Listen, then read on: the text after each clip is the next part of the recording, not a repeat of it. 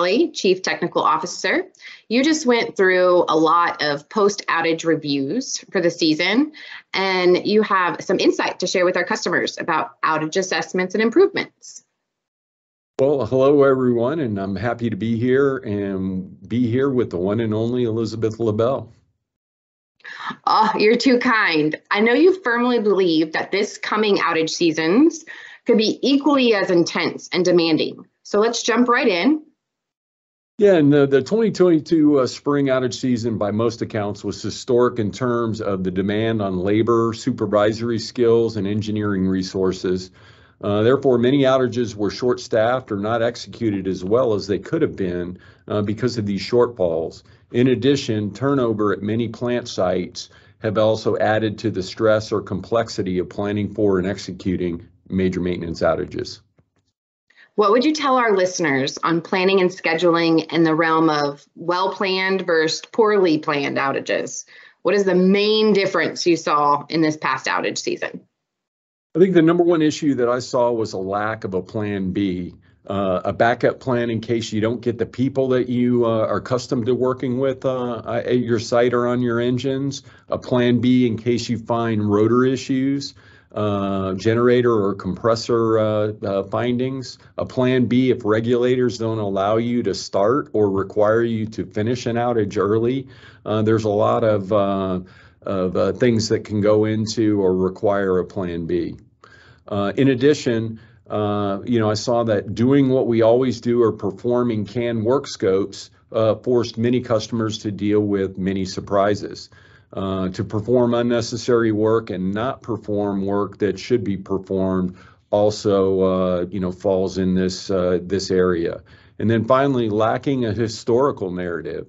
Uh, I worked with clients who claimed they did not know an issue existed uh, when that issue had been discovered previously and it was reported in a borescope or, or outage report. Uh, so reading old outage reports, including operational ones, is critical uh, to establishing an accurate outage work scope. Some uh, recommendations I have for better outage planning, and I can elaborate uh, further in the conversation, or start planning right after the current or next outage is completed. Uh, contingency planning for potential big ticket items uh, or scope creep, knowing your engines and knowing your engines well, uh, asking for help and or performing a, peer, peer review, and then finally, um, just knowing your resources and where uh, alternate resources are available. Leadership is something I've been hearing an awful lot about changes, retirements, things, people stepping up. What is your take on outage leadership and importance of having the right knowledge and the right place at the right time?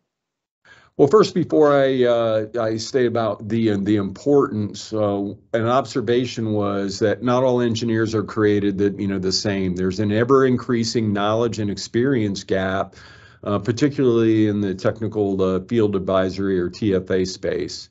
Um, I've also identified issues with uh, you know with supervisors, uh, with the sheer demand on um, or the number of outages that were happening concurrently. Uh, many supervisors were working their tools before uh, they got stepped up. Uh, their first big job may have been your big job. Um, but this deficiency uh, can be overcome with a quality crew and or field engineer who knows how to get the work done safely and correctly.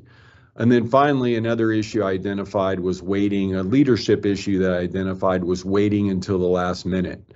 Uh, here I'm talking about service providers changing assignments, or waiting to tell the customer until it's too late for the customer to react by choosing a different contractor. Um, and then yeah. other customers may or may not have uh, you know started the planning process late and or you know had a forced outage or a new discovery that forced them to plan on the fly. Some would say situational awareness is one of the primary reasons outages are um, successful or fail. What do you say? Um, I'm a, uh, a, firm believer or prioritize situational awareness in uh, all of my daily activities.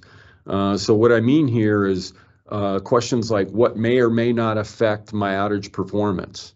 Uh, I like to look for the little things while not forgetting about the you know the big things.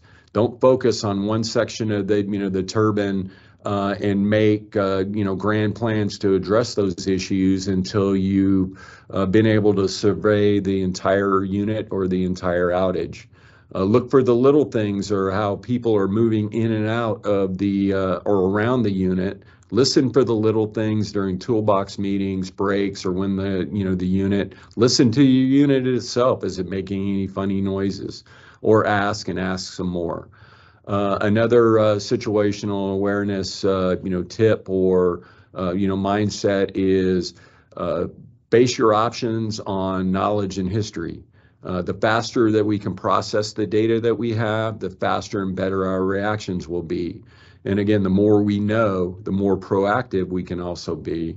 And then finally, and certainly uh, last but not least, know your engines. And by this, I mean really, really know them and as they are right now.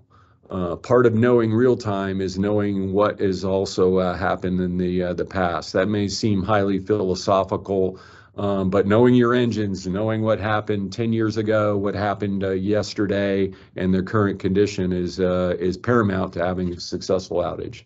That's super important. For those that are new to their roles now, or are putting together an outage plan maybe for the first time and or um, needing a little extra um, direction, what would you say to them? Uh, don't hesitate to uh, to ask for help.